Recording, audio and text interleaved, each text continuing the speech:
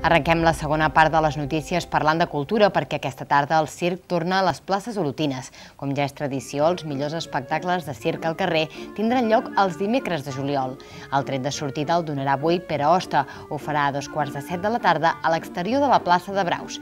Estarà sol, acompanyat només de la seva porta de fusta i mostrant l'excentricitat, la diversió i el surrealisme més curiosos.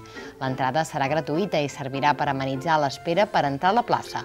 Una hora més tard, el el grup l'Urrac Angerquia, format per quatre acròbates, quatre músics i un clown, posaran en escena l'Urrac, un espectacle musical de circ contemporani que explica la història d'una rebel·lió en una fàbrica. L'equilibri entre acrobàcies aèries i còmic marquen aquesta actuació.